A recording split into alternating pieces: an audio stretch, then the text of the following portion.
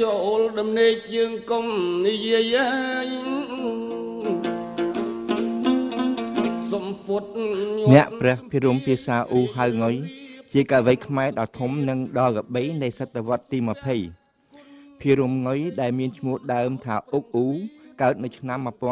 1865ហើយទទួលអនិច្ចកម្មនៅឆ្នាំ1936បន្ទាប់ពីបានបួសជាភិក្ខុអស់រយៈពេល5ឆ្នាំ អុកអ៊ូបានលើកបត់កំណាប់ជាច្រើន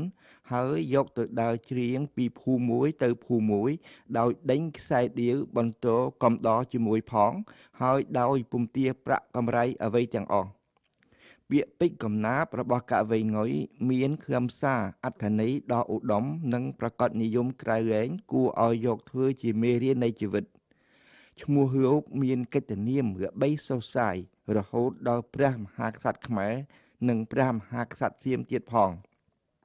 ខ្មែរចំនួនក្រោយបានស្គាល់ស្នាដៃរបស់លោកដោយសារអ្នកប្រាជ្ញបារាំងម្នាក់ឈ្មោះ Georges Sedes ដែលនៅឆ្នាំ1930បាននាំកវីងុយទៅជួបនឹងលោកស្រី Suzanne Carperes នាយកវិទ្យាស្ថានពុទ្ធសាសនបណ្ឌិត លោកស្រីកាក់ប៉េរ៉េសបានសុំឲ្យកវីងុយច្រៀងកំណាព្យរបស់លោកអស់ជាច្រើនថ្ងៃ ហើយឲ្យគេកត់ត្រាទុកដើម្បីយកទៅបោះពុំផ្សាយជារង្វាន់លោកស្រីបានឲ្យប្រាក់មួយរៀលទៅកវីងុយទុកជានិមិត្តរូបស្នាដៃសំខាន់សំខាន់របស់ភិរមងុយមានជាអាចច្បាប់របើកថ្មី គឺស្នាដៃដែលខ្ញុំយកមកបកស្រាយនៅខាងក្រោម ច្បាប់គេកៅថ្មី ពូជាបទកកតិគឺបទកំណាព្យដែលលោកបានលើកឡើងនៅឆ្នាំ1922នៅឆ្នាំ1931លោកបានលើកឡើងនៅបទកំណាព្យមួយទៀតដែលលោកឲ្យឈ្មោះថាសេចក្តីរំលឹកដាស់តឿនពូជាបទពាក្យ7បទកំណាព្យពីរទៀតដែលរកកាកបរិឆេទមិនឃើញ គឺ1ច្បាប់ប្រដៅទូមានជនប្រុសស្រី ជាបទពាក្យ7ហើយមួយទៀតបណ្ដាំក្រមងុយជាបទព្រមកិច្ចមួយបទសំខាន់សំខាន់តកតងនឹងការប្រកបមុខរបររកស៊ីធ្វើស្រែចម្ការ ការជ្រើសរើសគូស្រករមូលហេតុនៃភាពក្រីក្រតោកយ៉ាក់របស់ប្រជាជន ផលវិបាកដែលបណ្ដាលមកពីអវិជ្ជាជាដើម។ កវីងុយក៏ផ្ដោតអារម្មណ៍ផងដែរទៅលើគុណវិបត្តិផ្សេងផ្សេងដូចជាការទាស់ទែងឥតបានការអ្វីនៅក្នុងមជ្ឈដ្ឋានក្រហោះក៏ដូចជានៅក្នុងមជ្ឈដ្ឋានអ្នកបួសក្រៅពីរបៀបរបបរស់នៅ ភិរមភាសាអ៊ូហៅងុយក៏បានលើកឡើងផងដែរអំពីការជិះជាន់របស់បរទេសទៅលើប្រជាជនខ្មែរការបាត់បង់ឯករាជ្យនិងបាត់បង់វប្បធម៌និងអក្សរសាស្ត្រជាតិរះក្រមមាសប្រាក់ភើចកន្ត្រាក់បានអាវសម្ពត់ទុំរំនឹងភ្លើងរលត់យើងស្លៀកគង់ផ្គត់សោះខ្មាស់គេអើយកូនណាយគិត ឲ្យគ្រប់រៀងរាល់យប់កុំទំនេកវីងុយ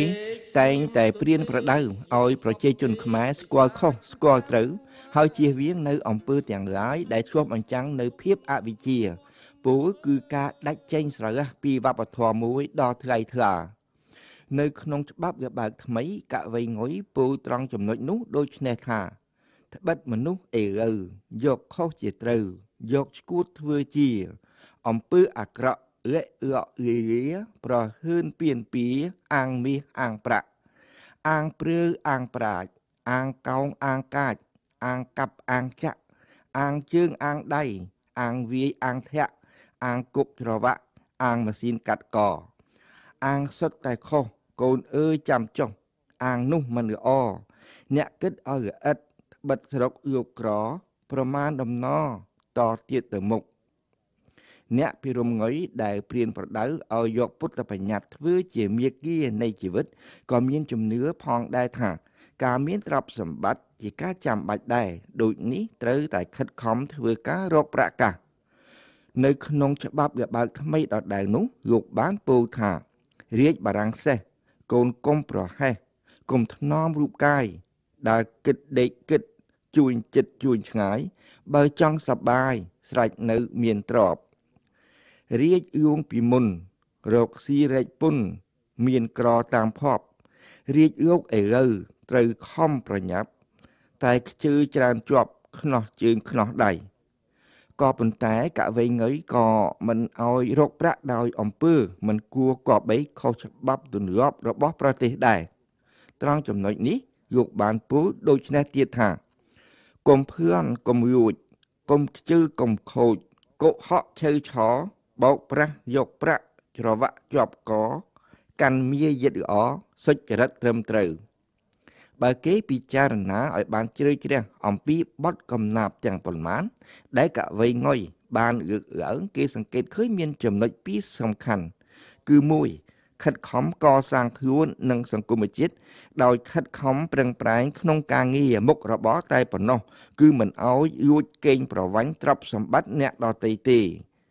ចំណុចទី2គឺការប្រកាន់កិរិយាមារយាទឲ្យបានល្អត្រឹមត្រូវ ជាទូទៅនៅពេលបច្ចុប្បន្ននេះគេសង្កេតឃើញថា ពាក្យព្រានប្រដៅដ៏ប្រកបនិយមទាំងឡាយរបស់កវីងុយកំពុងតែត្រូវគេប្រមាថយ៉ាងខ្លាំងដែលជាហេតុធ្វើឲ្យសង្គមខ្មែរបាត់បង់នៅមូលដ្ឋានរីកចម្រើនមួយដ៏មាំបើម្នាក់ម្នាក់តាំងខ្លួនថាជាអ្នកឆ្លាតអឿពីគេឯងព្រោះតែគេចេះបោកប្រាស់ចេះរពៅរពោចខូចខើគំរាមកំហែងគេឯងចេះខោកចេះអង្អែលអ្នកធំអ្នកតូចដោយឥតកោតក្រែងសម្ដាប់ធ្នាប់សង្គមក៏ប្រេះឆាដែរ អ្នកឆ្លាតប្រភេទនេះពុំមែនជាអ្នកដែលធ្វើឲ្យសង្គមជាតិរីកចម្រើនទេ តែគឺជាអ្នកបំផ្លាញកិត្តិនាមពូជសាសន៍ឯងទៅវិញទេកុំចាប់ស្ទើរវើរវាយនាំទៅរវល់ពលចិត្តអីអើនាំតែរវល់ពលចិត្ត